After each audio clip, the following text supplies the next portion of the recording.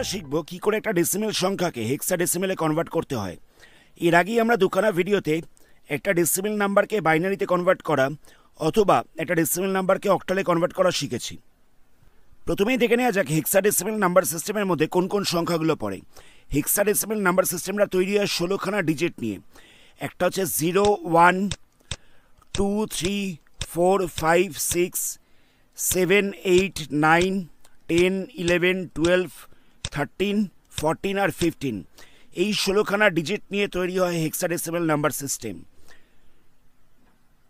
তো তাহলে একটা নাম্বার যদি সেটা ডেসিমেলে দেওয়া থাকে, সেই নাম্বারটাকে আমরা কী করে হেক্সাডেসিমেলে কনভার্ট করব? ধরে নেওয়া যাক ডেসিমেলে দেওয়া রয়েছে ওয়ান ফাইভ থ্রি এটাকে আমাদের বলেছে হেক্সাডেসিমেলে কনভার্ট করতে। তাহলে আমরা কী করব? তার জন্য আমাদের ওয়ান ফাইভ থ্রিটাকে ষোলো দিয়ে ফ্যাক্টরাইজ করতে হবে। সিক্সটিন দিয়ে ফ্যাক্টরাইজ করতে হবে।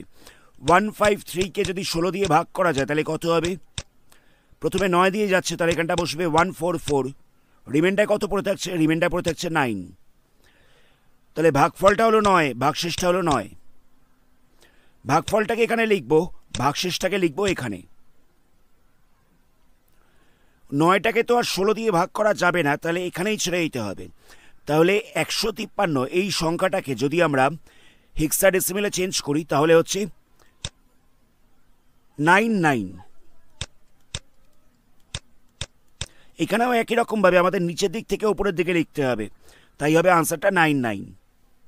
আশা করি বুঝতে পারলে, যেহেতু আমরা ডেসিমেল থেকে হেক্সা ডেসিমেলে কনভার্ট করছি, তাই আমাদের সিক্সটিন দিয়ে ফ্যাক্টরাইজ করতে হবে।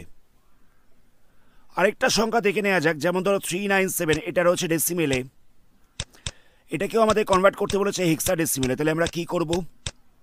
এখানটাতেও একই রকমভাবে আমরা সিক্সটিন দিয়ে ডিভাইড করব। ফ্যাক্টরাইজ করব। থ্রি নাইন সেভেনকে সিক্সটিন দিয়ে ডিভাইড করলে কত হয়? প্রথমটা যাবে টু দিয়ে, তাহলে এখানটা হয়ে যাবে থার্টি টু রিমাইন্ডার পড়ে থাকছে সেভেন আর এখান থেকে নামছে হচ্ছে সেভেন সেভেন্টি সেভেনকে আবার সিক্সটিন দিয়ে ডিভাইড করা যাবে, তাহলে কত হবে? এটাকে চার দিয়ে ভাগ করলে হয়ে যাবে সিক্সটি ফোর তাহলে রিমাইন্ডার কত পড়ে থাকছে? রিমাইন্ডার পড়ে থাকছে তেরো। তাহলে ভাগফলটা হলো টোয়েন্টি ফোর ভাগফলটাকে এখানে লিখব, আর রিমাইন্ডারটাকে এখানে লিখব। রিমাইন্ডার হয়ে যাচ্ছে তেরো। নেক্সট টোয়েন্টি ফোরটাকে আবার সিক্সটিন দিয়ে ডিভাইড করা যাবে। টোয়েন্টি ফোরকে সিক্সটিন দিয়ে ডিভাইড করছি। তাহলে প্রথমটা এক দিয়ে যাবে।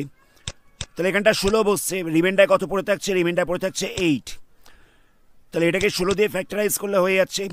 ভাগফলটা হচ্ছে এক রিমাইন্ডার পড়ে থাকছে আট। তাহলে থ্রি নাইন সেভেন এই সংখ্যাটাকে যদি আমরা ডেসিমেল থেকে হেক্সা ডেসিমেলে কনভার্ট করি, তাহলে কত হচ্ছে? এখানটা হয়ে যাচ্ছে ওয়ান এইট আর থার্টিন। এখানে বলে রাখা ভালো মানে যদি হেক্সা ডেসিমেলে টেন আসে, তাহলে সেটাকে আমরা এ লিখব।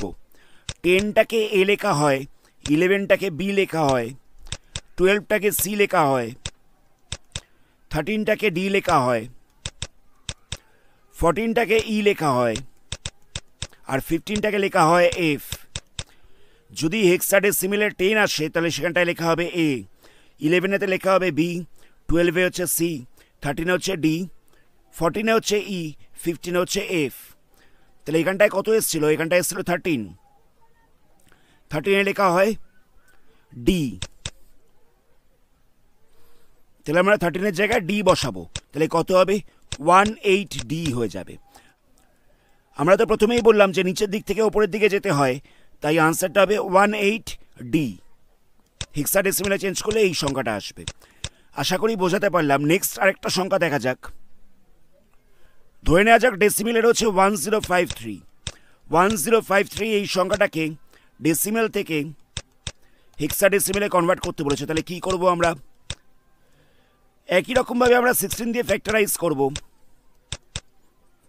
তাহলে ওয়ান জিরো ফাইভ থ্রিকে যদি ষোলো দিয়ে ভাগ করা যায়, তাহলে কত হবে? প্রথমটা যাবে ছয় দিয়ে, তাহলে এখানটা বসবে নাইনটি সিক্স রিমেন্ডার কত পড়ে থাকছে? রিমেন্ডার পড়ে থাকছে নাইন আর এখান থেকে থ্রিটা নিচে নেমে যাবে। নেক্সট এটাকে আবার ফাইভ দিয়ে করা যাবে। তাহলে এখানটা হয়ে যাবে এইটটি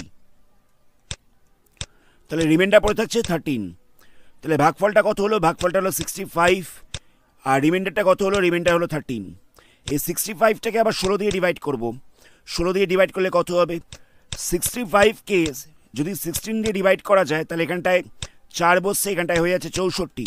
ভাগশেষ পড়ে থাকছে এক। তাহলে এখানটায় লিখব চার, এখানটায় ভাগশেষটাকে লিখব এক।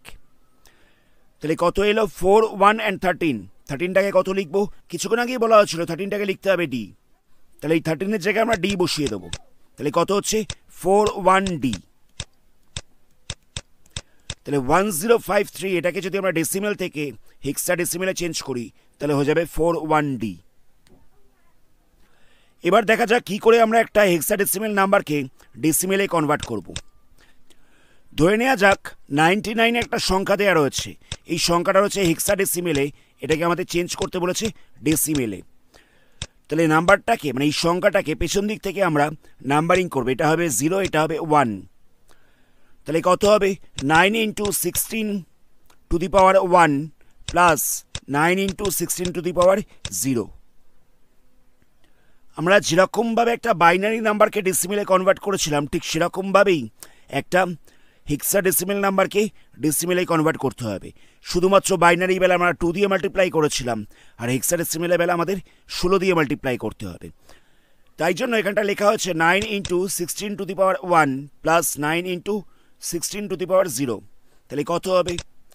নাইন ইন্টু সিক্সটিনের পাওয়ারে ওয়ান রয়েছে, তাহলে এখানটা ষোলোই বসবে। আর এখানটা রয়েছে নাইন ইন্টু ষোলোর পাওয়ারে জিরো রয়েছে।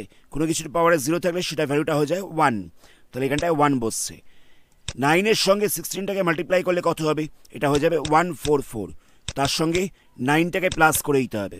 প্লাস করলে হয়ে যাবে ওয়ান ফাইভ থ্রি তাহলে নাইনটি নাইন এই সংখ্যাটাকে যদি ডেসিমেল থেকে আমরা হিক্সা ডেসিমেল থেকে ডেসিমেলে চেঞ্জ করি, তাহলে ডেসিমেলে চেঞ্জ করলে পাওয়া যাচ্ছে একশো তিপ্পান্ন। নাইনটি নাইন এই সংখ্যাটাকে যদি আমরা হেক্সা ডেসিমেল থেকে ডেসিমেলে চেঞ্জ করি, তাহলে পাওয়া যাবে একশো তিপ্পান্ন। এটাই হচ্ছে আনসার নেক্সট আরেকটা সংখ্যা দেখা যাক। ধরে নেওয়া যাক ওয়ান এইট ডি এটা দেওয়া হচ্ছে হেক্সা ডেসিমেলে এটাকে কনভার্ট করতে বলেছে ডেসিমেলে তাহলে আমরা কি করব? একই রকমভাবে আমরা পেছন দিক থেকে নাম্বারিং করব। এখানটায় বসবে জিরো এখানটায় বসবে ওয়ান এখানটায় বসবে টু তাহলে হয়ে যাচ্ছে ওয়ান ইন্টু সিক্সটিনের পাওয়ারে টু প্লাস দিয়ে বসছে এইট ইন্টু সিক্সটিনের পাওয়ারে হচ্ছে ওয়ান প্লাস ডি ইন্টু সিক্সটিনের পাওয়ারে হচ্ছে জিরো ওয়ান ইন্টু সিক্সটিনের পাওয়ারে টু মানে ষোলো ইন্টু ষোলো করতে হবে। সিক্সটিনের স্কোয়ার মানে কত হচ্ছে? ষোলো ইন্টু ষোলো। এটাকে মাল্টিপ্লাই করলে হয়ে যাচ্ছে টু ফাইভ সিক্স আর এইট ইন্টু সিক্সটিনের পাওয়ারে ওয়ান রয়েছে, তাহলে এখানটা সিক্সটিন বসবে। ডি এর জায়গায় ভ্যালু বসিয়ে দেবো। ডি এর ভ্যালু কত ছিল? থার্টিন ছিল। আর sixteen to the power zero মানে হয়ে যাচ্ছে ওয়ান কোনো কিছুর পাওয়ারে জিরো থাকলে তার ভ্যালুটা হয়ে যায় এক। লাস্টে এইগুলোকে মাল্টিপ্লাই করতে হবে, তাহলে এখানটায় বসবে টু ফাইভ সিক্স এইটের সঙ্গে সিক্সটিন মাল্টিপ্লাই করতে হবে, তাহলে হয়ে যাবে ওয়ান টু এইট